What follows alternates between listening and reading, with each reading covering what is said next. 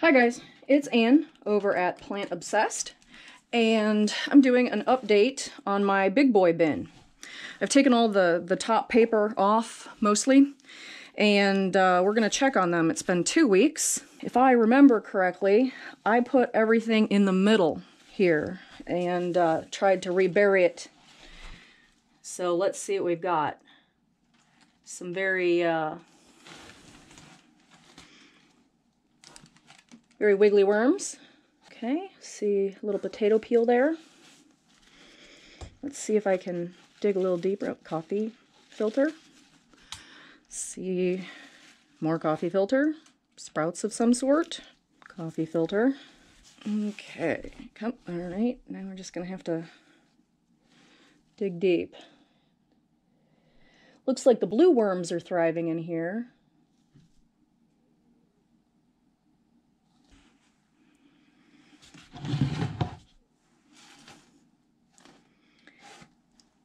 I don't know if you saw that or not, but he just did like backflips across the whole bin. All right, let's dig into the pile of stuff here. Feels squishy. Oh, there's one of my bags. Ah, just, there we go. All right, so the, not a huge worm ball, but they are certainly still in something in here.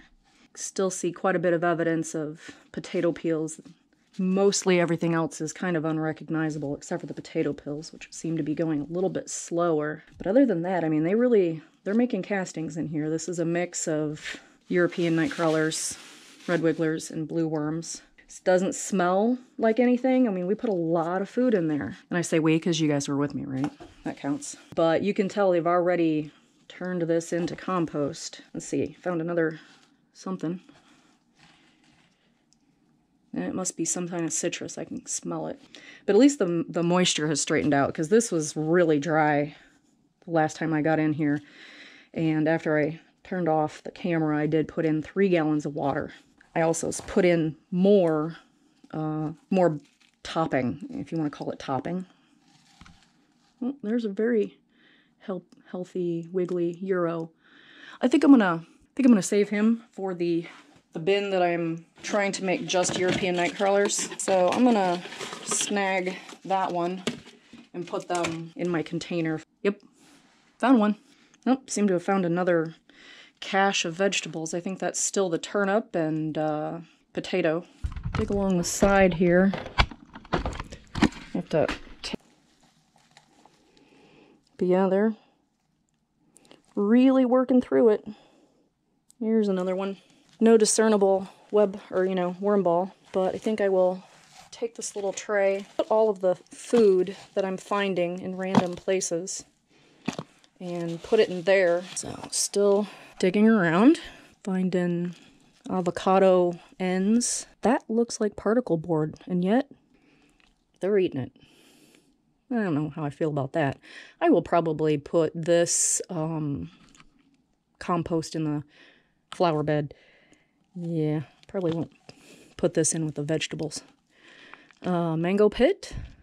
They haven't quite got into it yet, but it looks like it's growing right there. I think that's a red worm. Nope, there's another good euro. I tell you, those things are starting to look like sausages. They're just staying pretty stout. It's weird. If anybody thinks, hey, this is a great idea, well, I hope you're 6'4, 6'5 if it is, because uh, with me, I'm, I don't know if you can see, but I'm only getting a couple feet in here. And the bin's not, you know, full by any means. But for the most part, I'm really only reaching the top quarter.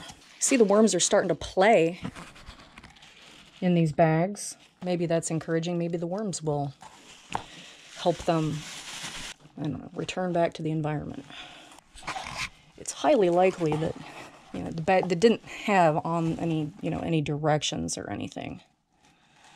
Like this will absolutely be gone in three months or something like that. So of course I'm like now's good for me. You should disappear now. We'll get the worms on the job and maybe they can speed it up some for me.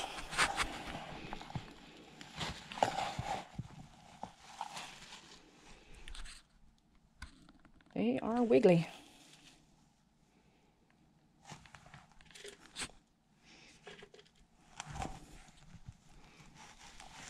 I know there was a lot more food that I buried than this, so they've done a really, really good job. And we had that big chunk of celery thing and a lot of other things stuck in there, so the big boy is doing a good job. He's a good boy. Ooh, those are pretty. All right, guys, be pretty for camera.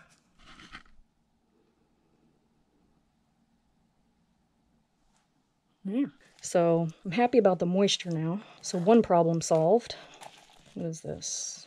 Um, I got nothing. I don't know what it is. Some kind of paper thing. All right. Well, this is my from work bag where everybody puts their coffee grinds and apple peels and banana peels in here from their lunches. And then once a week I take it home. So there's orange peel and apple. By far, way more coffee grounds than anything else. So I'm gonna upend that. And bust open that apple. I mean, it has been frozen, so it shouldn't be too hard for them to get into, but um, apparently somebody must have had tortillas at work. All right, so then we're just gonna cover it all up. Kind of flatten it out. Stick that in. Here's another yeah, that's a completely different one of those Teavana tea bags. And it also has the little critters in it, so kids are using it for a playroom. That's fine. If you can see, I'm gonna put you, I'm gonna put you in the bin. And so I've got 10, 10 inches on top, and that is where I'm gonna dump all of the, the paper. And this is basically how I keep all of the gnats, outside things from invading my worm bin. I think in one of the videos you saw me putting in two full buckets. Um, but you can see now that there's there's probably only like five inches on the top that's not paper. Apparently there was somebody in the paper in that bucket. That is it for the big boy this week. As you can see, there he is on the ground. And there's the top of him. Okay, well, thank you very much for hanging out with me and my worms. And uh, if you don't mind, give me a thumbs up and poke the subscribe button if you are not already a subscriber. And if you are a subscriber, thank you very much. I appreciate sharing my my worm hobby and learning as much from everybody as I try and make sure that everybody learns what I know, even if it's um, failures. but this one is, uh, it's a structural failure for me because it's not very easy for me to maintain. But they're healthy, they're happy, and they certainly are doing their job. All right, guys. Well, you guys have a good night,